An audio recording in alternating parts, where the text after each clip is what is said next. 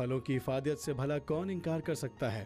ہر پھل کی اپنی خصوصیت ہے، لیکن ظاہر ہے کہ فوائد کے لحاظ سے بعض پھل زیادہ اہم ہیں اور بعض کم۔ پھلوں کے فوائد کے سبھی لوگ عرصہ دراز سے قائل ہیں۔ انگریزی کے ایک مشہور کہاوت کا مفہوم کچھ یوں ہے کہ اگر کوئی شخص روزانہ ایک پھل کھائے تو اسے معالج کے پاس جانے کی ضرورت نہیں پڑے گی۔ جدید تحقیق کے مطابق پھل توانائی، حیاتین اور معدنی اجزاء کے حصول کا بہترین ذریعہ ہے۔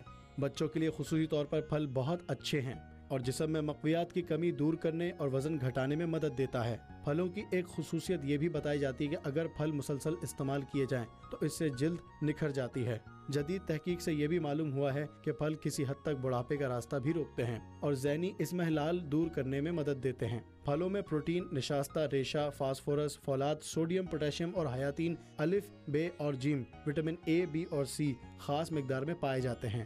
پھلوں میں پائے جانے والے نشاستے کی مقدار ہمارے جسم میں توانائی کی گرتی ہوئی سطح کو فوری طور پر بحال کرتا ہے۔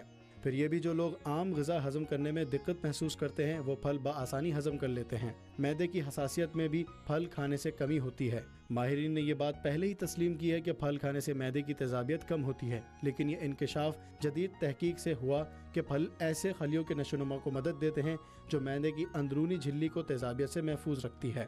ماہرین کا خیال ہے چونکہ پھلوں میں پوٹاشیم بہت خوب ہوتا ہے، لہٰذا یہ فشار خون کی زیادتی پر قابو پانے پر مدد دیتا ہے۔ انیسویں صدی کی بات ہے کہ بعض لوگ پھلوں کے چھلکے سے محاسوں مسوں اور چھائیوں کا علاج کرتے تھے۔ جہاں محاسے اور مسے ہوتے، وہاں وہ بعض پھلوں کا چھلکا چپکا لیتے تھے۔ رات کے وقت چھلکا چپکایا جاتا اور صبح ہٹا دیا جاتا اور یہ علاج ہفتے بھر جاری رہتا۔ اب اس مقصد کے لیے چھلکے چپکانے کی ضرورت نہیں، کیونکہ بہت سی کریموں سے اس کا علاج کیا جاتا ہے۔ ماہرین عام طور پر یہ کہتے ہیں کہ ہم دن بھر میں پانچ بار پھل اور سبزی مناسب مقدار میں کھانی چاہیے، کیونکہ یہ جسمانی نشروں میں بڑی اہمیت کی حامل ہوتی ہے۔ تمام پھل موسمی تقاضے پورا کرنے کی صلاحیتوں سے مالا مال ہیں۔ بعض پھلوں کے پتے، چھال، گوند، پھل اور تخم سب دوا کے طور پر استعمال ہوتے ہیں۔ کچھ پھلوں کی لکڑی سے روزانہ مسواک کرنے سے منہ کی بدبو چلی جاتی ہے۔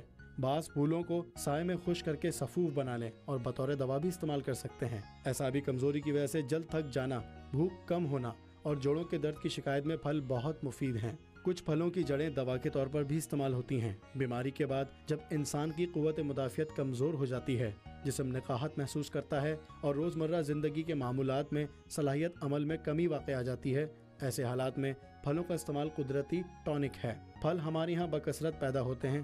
پھلوں کی غذا بخشی اور دوائی اثرات کو تمام ماہرین طب سائنس تسلیم کرتے ہیں۔ ایسے لوگ جو دماغی کام کرتے ہیں یعنی لکھنے، پڑھنے کی صلاحیتوں کو بروکار لاتے ہیں۔ ان میں اہل قلم، ادیب، صحافی، شاعر، طبقہ اور اکاؤنٹس کا کام کرنے والے حضرات شامل ہیں۔ ان کے لیے بھی پھل قدرت کا تحفہ ہے۔ اور پھلوں کو اگر ان کے موسم میں باقاعدہ استعمال کیا جائے، تو دماغی صلاحیتوں کو جلا ملتی ہے۔